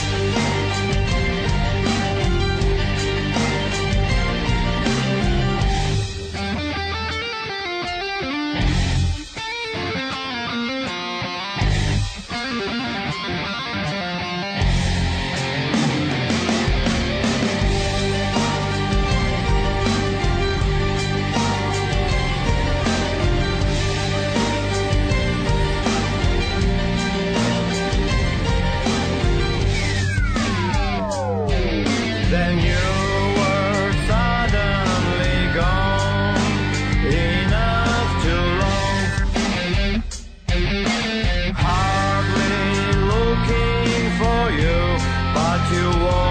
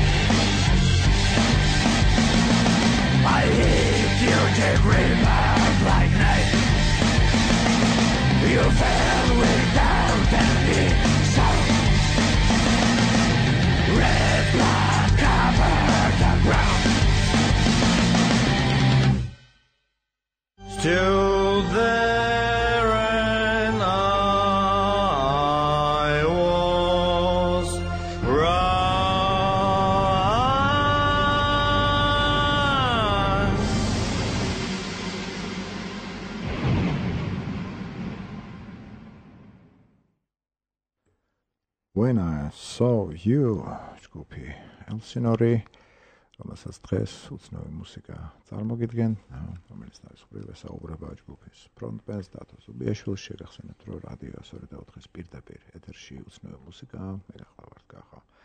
თოლორდავა მე ისევ დათოს და უბრუნდები შეკითხვით და მე ისევ ენასთან დაკავშირებით მინდა. რამოდენიმე სიტყვა მოგახსენო ეს არის ფიქრო რომ რაღაცა ჩემთვის ეს ესეთი ის არის რაღაცა დაციკლული ვარ მაინც და მაინც და მე სრულიადაც არ მიმაჩნია ყველა ქართულმა მუსიკოსმა უნდა იმღეროს ქართულად არა. მაგრამ მეორე მხრივ მე მეჩნია რომ ეს არის ძალიან დიდი გამოწვევა ვინაიდან ქართული ენა თავისი მოქნილობით სრულიად არ არის გათვლილი. კი კი. იმ მუსიკალურ იმ აკუსტიკურ მდგომარეობაზე რასაც ზოგადად როგი წარმოადგენს ამაზე ქართული ენის მეშვეობით მიახლოება მუსიკასთან საკმაოდ რთულია, ვინაიდან ეს ნიშნავს იმას, რომ შეიძლება შეეცადო მოიხმარო რამოდენიმე მარცვლიანი კი არა, არამედ ძალიან წირე მარცვლიანი სიტყვები. მოკლედ საკმაოდ რთული არის. ამიტომაც მე მაინტერესებს, ვინაიდან შენ საუბრობდი იმ აუცილებლობაზე, რომ ესა თუ ეს პროდუქტი, რომელსაც თქვენ ქმნით აუცილებლად უნდა გახდეს. გაყიდვადი. ხო აქ ცოტა შეუსაბამობა არის და რაღაცა გარკვეული ბარიერებიც არის მე რასაც ვატყობ ხო? იმიტომ რომ ვის უნდა მიყიდო ეს პროდუქტი? ეს არის ძალიან მნიშვნელოვანი. ანუ როგორ ახერხებ იმ მასის შექმნას რომელმაც უკვე ნელ-ნელა შენი პროდუქტის ყიდვა უნდა დაიწყოს და რამდენად მნიშვნელოვანია ეს დღესდღეობით ეს ზოგადად ეს პრობლემა ჩვენთვის რა ვიცი, მე საერთოდ ვერ ხედავ პრობლემას. იგივე მაგალითად თქვა გერმანიაში 60-იანი წლებიდან დაწყებული. ანუ გერმანული ბენდები მღეროდნენ ინგლისურად მთელი კრაფტვერკიდან და ამონჯული და ნუ მთელი ყველა აბსოლუტურად. სკორპიონზის კი ინგლისურად მღერის. ანუ უბრალოდ უნდა აა ქვეყანაშიც უნდა იყოს გაყიდვადი და რაღაცნაირად საზღვარგარეთაც უნდა გახდეს რა. ხო, არა, პირველ რიგში იმისთვის რომ იმისთვის რომ საზღვარს საზღვრებს მიღმა გადავიდეს, ეს აუცილებლად მეტნაკლებად პოპულარული უნდა გახდეს საერთოდ. ანუ შენ უნდა მიყიდო ის პროდუქტი, რასაც აკეთებ პირველ რიგში შენივე მოკალაკეს, ხო? თუმცა, თუმცა ხანდახან ჩვენ როგორც ყველაფერში ხოლმე ჩვენთან ისე არის რომ თქვა ქვეყანაში არ ხდება თქვა აქტუალური და თქვა საზღვარგარეთ უფრო ხდება აქტუალური ესა თუ ის პროდუქტი. ძალიან ხშირად მოხდა მუსიკა ყველა ყველა მიმართულებით. და ანუ იქიდან გამომდინარე რომ თქვა სკანდინავიური ბენდებიც ინგლისურად მღეროდნენ. მე მე არა მე როგორც გითხარი ეს პრობლემა პირადად ჩემთვის არა უბრალოდ ძალიან საინტერესოა ეს რომ რა შეიძლება გამოვიდეს თქვა მაგალითად იმ კონფიგურაცია კონფიგურაციიდან რასაც მე აკუსტიკურ კონფიგურაციას გულისხმობ თუ თქვა სიტყვაზე ამას ყველაფერს ქართული ენა მოერგება. რამდენად ხო, დაიკარგება ის, არ დაიკარგება, პირიქით წინ გამოწევს რაღაცებს თუ არა. ეს ძალიან ძალიან საინტერესოა, ამაზე გაქვთ თუ არა ნაფიქრი თქო. კი, კი, როგორ არ მაქვს, როგორ არ მაქვს ნაფიქრი. მიუხედავად იმისა, რომ მე თვითონ ვერ ავამღერე ქართულად ანუ როკ მუსიკა. თუმცა აი ვიტყვი რომ ზიმეჯვარმა მოახერხა ძალიან კარგად ქართულ ენასა და hard rock-ის მორგება. ეგ ძალიან საინტერესო, ძალიან საინტერესოდ გააკეთეს სხვათა შორის. მაგრამ ნუ აი მე მე ჯერჯერობით, მაგრამ აუცილებელი არ არის თქვა მე გავაკეთო თქვა აუცილებლად თუ, მაგრამ თავარია ჯერ საერთოდ აი აა ქართულ ენაზე შესრულებული როკი კი არა, ზოგადად აი ქართველი როკ მუსიკოსი როგორც ცნება ყურჭრის. ანუ ისე მე მაგიტო იმას ისე მენტალურ პრობლემებთან მივდივარ ხოლმე, რომ აი ზოგადად აი თითქოს ფიქრობენ, რომ აი როკ მუსიკა ჩვენი არ არის. იმათია ვიღაცები. მაგრამ ძალიან განყენებულია, ვინ არიან ისინი, ვინც ხო და აი ეს სიმართლე გითხრა მე ესებს არც ვიცნობ. კი მე მცნაურია. სამწუხაროდ აი ის massa რაც ეგან ვახსენებ, ვინც უნდა იყიდოს ეს, აი ისინი ფიქრობენ ასე. ანუ მე ძირითადად სხვადასხვა ანუ თქვენ მათი მოზიდვა ვერ მოახერხეთ, ვინაიდან ისინი უსმენენ სხვა მუსიკას. სხვა მუსიკას უსმენენ საერთოდ, ხო, საერთოდ სხვა მუსიკას უსმენენ და ქართულათაც რომ ქართულათაც რომ გააკეთო, ანუ ეს ეს ყველაფერი, ანუ შეიძლება მაინც არ იყიდოს, მაგრამ აქ კიდე კიდე სულტაი სტრუქტურული და ის ის პრობლემაც არის, რომ აა ყველა ვარიანტში ნებისმიერი პროდუქტი რა, კიდაც როკ მუსიკა, კიდაც არა როკ მუსიკას. თუ ნებისმიერ რაიმე ნაწამს პროდუქტს არ ვიცი რა დავარქვე ხა ესეთი ეკონომიკურ ტერმინებში არ მინდა გადავარდე რომ ანუ თუ მასშტაბი არ მიეცა ანუ აი არ ვიცი რაღაცნაირად უნდა მოხდეს რა ეხა ნუ მაგ რაღაც ხედვები კონკრეტული, მაგრამ ნუ ეგ ალბათ ჩემზე არ არის დამოკიდებული რა. არა, საინტერესოა ზოგადად როგორ ხედავ ამ სურათს, იმიტომ რომ მე ამაზე ძალიან დიდი ხანია უკვე მესმის საუბარი, ხო? დაწყებული სულ ამაზეა საუბარი. კი, კი. რომ ჩვენ მუსიკალურ სამყაროში ხდება რაღაცა ისეთი, რომ ვერანაირად ვერ მოახერხეთ და ვერ ავაწყვეთ ის სტრუქტურა, რომელიც მეტნაკლებად მაინც დააკმაყოფილებს ქართულ მუსიკოსებს. არა აქვს ამ წუთში ჟანრობრივი იმას. გამიჯნოს არანაირი მნიშვნელობა. კი ბატონო, გასაგები, ანუ ზოგადად მეც ვერ ხედავ იმაში პრობლემას, რომ ინგლისურად იყოს შესრულებული, ვთქვათ, ანუ როდესაც ბენდი ვთქვათ არის იმის პოტენციალი და პერსპექტივა, რომ ვთქვათ, ბენდი გასტროლილებდეს კიდაც სოფლიოში, ვთქვათ, მღეროდეს მე, ვთქვათ, ქართულად. ანუ მე ძალიან ბევრი როკ ჯგუფი ვიცი, რომელიც ქართულად ასრულებს მუსიკას, მაგრამ მაინც არ ყავს მენელი. ანუ ვთქვათ იმას ნუ ეს უკვე მოდი ესე ვთქვათ რომ ეს უკვე რაღაცა ესე ვთქვათ რომ არსებობს კაი მუსიკა, არსებობს ცუდი მუსიკა, არსებობს კაი მუსიკოსები, ცუდი მუსიკა. ირაკლი შარკვიანმა სხვადასხვა ახლა ჩვენ საუბარზე გამახსენდა და ძალიან კარგად მოახერხა, სწორედ აი ძალიან კარგად მოახერხა ამ ქართული ენის მაგრამ მაინც როკი არ არის. არა, არა, როკი რა თქმა უნდა არ არის. მაგრამ ვინაიდან სასიმღერო ჟანრებზეა მაინც საუბარი ხო, გინდა არ გინდა. ნუ ეს გარკვეული თვალსაზრისით რა თქმა უნდა ხო, აი ეს ატაცების მომენტი ეს ძალიან მნიშვნელოვანია სმენელის ხრიდან იყო. კი, კი, ირაკლი მაგარი იყო ძალიან. მაგრამ მაინც ირაკლი აი სხვა მიმართულებაში წავიდა და ჩვენც პრინციპში მაგ ჩვენც ესეთი კლასიკური როკი ხო არ არის ეს პროგრესივი არის, ანუ აი მომავალში კიდე ვაკეთებთ ის ვაპირებთ ხა ალბათ ჩაწერას და რაღაცებს და იქ უფრო უფრო უფრო ნაცვლად გამოჩნდება ანუ ეს ამ თქვა გინდათ ქართული ფოლკისა და ამ თანამედროვე ტენდენციების შერწყმის. ოღონდ ანუ ეს ისევ და ისევ ვიმეორებ, რა სიღრმეში ჩემი აზრით, ანუ თვით თვითონ შემოქმედში უნდა იყოს შინაგანად ეს შერწყმული რაღაცა ტრადიციული და ინოვაციური, რომ მე მოხდეს ამისი ორგანულად გარდმოდინება, ასე ვთქვათ, რომ ყური არ მოიჭრას რა და ქართული ენა ძალიან რთული მოსარგები არის კონკრეტულად როკ მუსიკისთვის. ანუ ირაკლი მაინც რომანსული და მაინც სხვა მიმართულება იყო და მოერგო ამას, იმიტომ რომ ტრადიციას არსებობდა ამისი თქვა. ძალიან ირაკლი კარგად გააკეთა.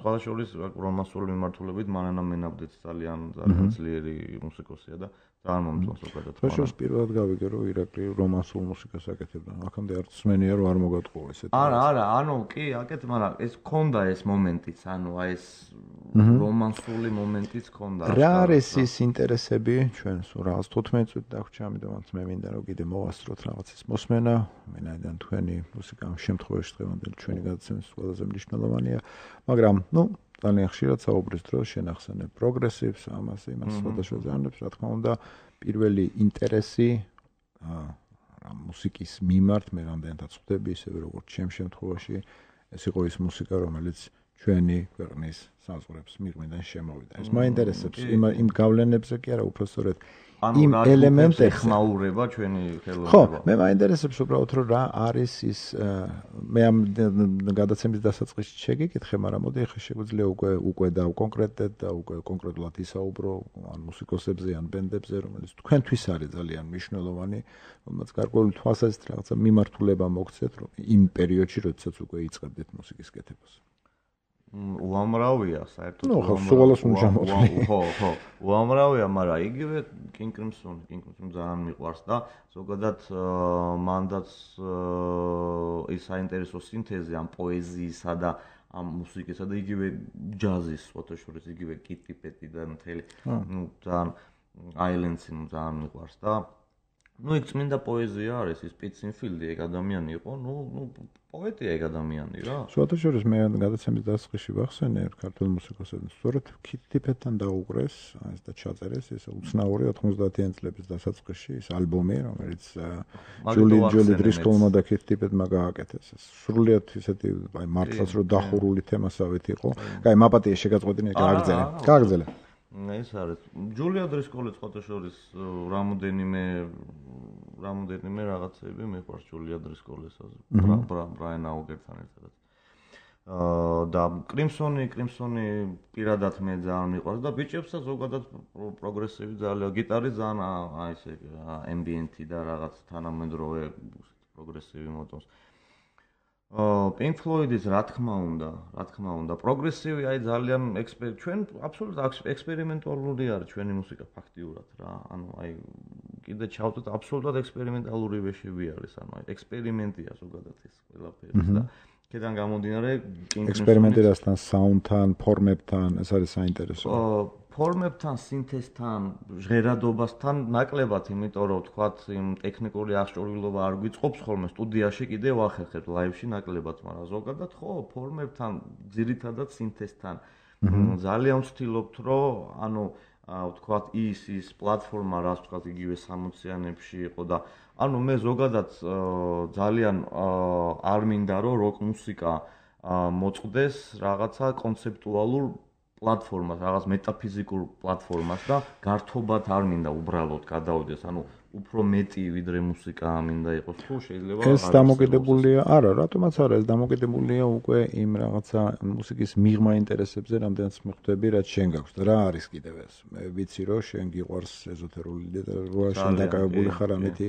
აი რა არის თქვენ ბენჩი ზოგადად ის მუსიკის მიღმა, რაღაც ინტერესი, რაც ბენდის წევრებს გაერთიანებთ, ეს საინტერესო უნდა იყოს. ო, აი ეს ეზოთერული ფილოსოფია ძალიან გვიყვარს და ზოგადად ვცდილობთ, რომ ფილოსოფიური აზროვნების პროპაგანდა მოვახდინოთ. იმიტომ რომ ფილოსოფიური აზროვნება, ну, ჩემი აზრით ძალიან გვჭირდება და ზოგადად კონცეპტუა კონცეპტუალური ჩამოყალიბების პროცესში ვარ. ჩვენ როგორც ერი ჩემი აზრით და რაღაცნაირად ყველანაირად უნდა ხელი შეუწყოთ ადამიანებს, რომ აი რაღაცნაირად ცნობიერების გაფართოება მოხდეს და რა ვიცი, ამის პროპაგანდა. ეს არის ფილოსოფია, ეზოთერიკა, ცოტა-ცოტა რაღაცეები კიდე და აი ეს არის და ანუ ძალიან ვცდილობთ რომ არ მოწყდეს ამ მეტაფიზიკურ პლატფორმას ასე ვთქვათ როკ მუსიკა და ასევე ძალიან მიყვარს ალტერნატიული როკი 90-იან წლების და ინდი როკი რა. ძალიან იყო ნირვანა ძალიან მიყვარს რედიოჰედი მიყვარს ძალიან. სანამ ძალიან ელექტროობაში გადავარდებოდა აი ალტერნატიული და ყველაფერი ეს რედიოჰედი ნირვანა ეს რაღაცა გარკვეული თვალსაზრისით შეიძლება ისმოდეს თქვენ მუსიკაშიც ხო კი, რა თქმა უნდა, კი, ეხმაურება რედიოხიდსაც, ესე იგი, არ ვიცი, აი თქვათ შეიძლება ხო აი კრიმსონიდან მაგიტო ვიძახი რომ თქვათ აი რამოდენიმე სიმღერაში, აი მაგალითად ჰოლდმიში, ანუ ერთ სიმღერაში არის თქვათ რამოდენიმე ეპოქა, თქვათ 60-იან წლების ძიმე ფსიქოდელიდან შეიძლება უცებ სიმღერა გადავარდეს 80-იან წლების სინტიპოპში. თქვათ, ნუ და ასე შემდეგ, ასე შემდეგ, სხვადასხვა ეპოქა არის, ნუ საკმაოდ აა ისე არის, რა ქვია, ანუ ეს ამას არავინ არ არჩევს რა რა ეპოქა და რა უნდა იყოს. მაგრამ ნუ აი ვთილობთ რომ ესეთი რაღაცა გავერთიანოთ და მაქსიმალურად თანამედროვეობასთან, თანამედროვე ტენდენციებთან ვიყოთ შესაბამისობაში და თან ამავე დროს დავრჩეთ თვითყოფადად და როგორიც არის ჩვენთვის ხედვა ზოგადად ქვეყნისა და ძალიან კარგი. მე მგონი ჩვენ საკმაოდ ბევრი მოვახერხეთ. მოდი მუსიკას დაუბრუნდოთ, დაუბრუნდეთ და გადაცემის დარჩენი ნაწილი მთლიანად მუსიკას დაუთმოთ. არის თუ არა ისეთი რამ, რაც შენ გინდა რო თქვა დასასრულს, ვინაიდან ნელ-ნელა ჩვენ ალბათ უნდა დავემშვიდობოთ ჩვენ მსმენელს, არის ისეთ, არის თუ არა რამე ისეთი, რაც შენ ფიქრობ, რომ გამოგრჩა, ან რაღაცა დაგაკდა ჩვენ საუბარში. შესაძლოა მე მინდოდა ერთი რამ მეკითხა ლაივებთან დაკავშირებით. ქონიათ თუ არა საშუალება, რომ საერთოდ საქართველოსში გემოგზაუროთ თქვენი მუსიკით. თბილისი ჩემთვის გასაგებია. მაგრამ ქონიათ თუ არა საშუალება რომ საქართველოს სხვა რომელიმე ქალაქებში წარმოგედგინათ თქვენი მუსიკა სამწუხაროდ არა იმიტომ რომ ხარჯებს სერიოზული პრობლემა სერიოზული პრობლემა არის ну სუფთა ფინანსური პრობლემა არის და სხვათა შორის ადრე ვიყავით კიდე ინტერვიუ ქონდა ერთ რადიოში და იქიდან გამოგვეხმაურნენ ქუთაისიდან რომ იქნება ჩამოხვიდეთო რა და აი რაც საინტერესო უნდა იყოს დამერწმუნებელი ძალიან ძალიან მაგრამ ნუ აი ჩვენ უთხარეთ რომ ნუ აი ჩვენ ვეცდებით მაგრამ არ ვიცი იმიტომ რომ ნუ რთულია რა ანუ იმიტომ რომ აქ მთელი უნდა წაიღო იქამერი იქ უნდა შეუთანხმდე მე ანუ აი ძალიან იმდენ იმდენ პრობლემებთან არის რა ფინანსური პრობლემები რა თქმა უნდა მე მესმის მით უმეტეს აქ არ არიან არ არიან იმ მეცენატური ტიპის პერსონაჟები რომლებიც უშუალოდ მუსიკასთან არიან თუ ეს რა თქმა უნდა ძალიან big names და დიდი სახელები არ არის. რაც ძალიან ცუდია მე ძალიან კარგად მესმის რასაც ამბობს დათო მე ძალიან კარგად მესმის და მე მგონი სწორედ მესმის თუ რა რაზე შესტკივა მას გული მე მას სრულიად ვეთანხმები ვინაიდან ახალგაზრდული სეგმენტი, ჩემი აზრით ალბათ ერთ-ერთი ყველაზე უფრო მნიშვნელოვანია მუსიკაში და მუსიკაში და სწორედ მათ ჭირდებათ ამ წუთში ხელის შეწყობა, რაც რაც ადრე თუ გიან აუცილებლად უნდა მოხდეს. აუცილებლად თუნდაც ის ფაქტი, რომ ევროვიზიაზე უკვე რაღაცა აქვს ჩვენ როკის ფორმატით გამოვედით, ესეც საკმაოდ ბევრ ამას ამბობს, თქმა უნდა, ზოგადად. კარგი, ძალიან ძალიან დიდი მადლობა. ეს ყველაფერი ძალიან საინტერესო იყო. კიდევ ერთხელ მადლობას გიხდი, ვინაიდან დღევანდელი გადაცემა შენ ინიციატივა იყო და ამისთვის მართლაც რა ძალიან დიდი მადლობა და ნუ პირველ რიგში რა თქმა უნდა დიდი მადლობა მუსიკისტვის. ჩვენ მე რამდენადაც ხვდები, სულ დაახლოებით კიდევ ორი კომპოზიციის მოსმენას მოვასწრებთ.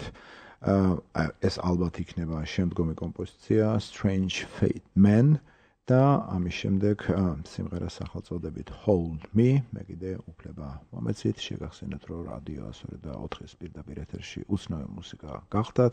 მთელი საათ ნახევრის განმავლობაში ჩვენი სტუმარი იყო ჯგუფ Elsinore-ის ფრონტმენი დათო სუბიაშვილი კიდევ ერთხელ დათო ძალიან დიდი მადლობა. იცოდე და იცოდეს თქვენმა მეგობრებმა რომ უცნაური მუსიკის რადიო ფორმატის გარი ყოველთვის ღია მათვის, ვისაც უნდა გადაცემაში მოსვლა, ვინც ფიქრობს, რომ მას რამე სათქმელი აქვს და რაც თავარია, ვისაც სურვილი აქვს, რომ წარმოადგინოს თავისი მუსიკა, ურმესი მადლობა და მოდი გადაცემის დასასრულს მე ხა დაგემშვიდობებთ შემდეგ შაბათამდე და რამდენსაც მოვასწრებთ, მოვისმინოთ ყოველი შემთხვევისათვის თუ ჩემ ანონს endobit ეს გახდათ strange fate man და შემდეგი სიმღერა hold me. მომავალ შაბათამდე კარგად ბრძანებათ კარგად იყავით დიდი მადლობა ძალიან დიდი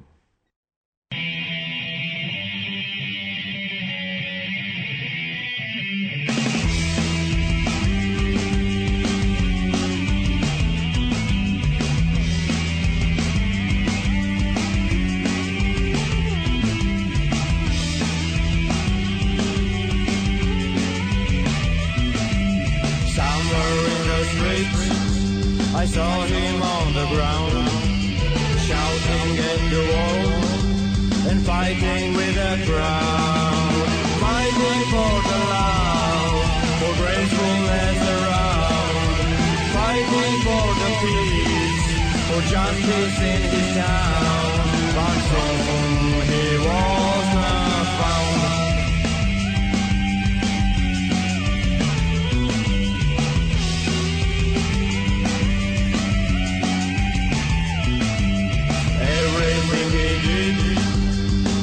a real fate. He was killed, but we don't know where's the lonesome grave.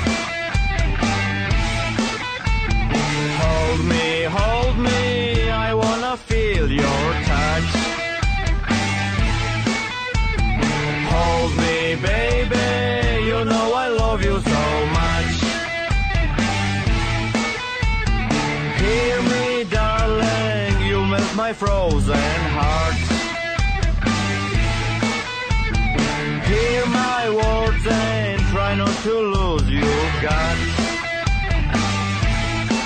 What you got, got, got, got. What you got, got, got, got. You have got the only friend who understands you right.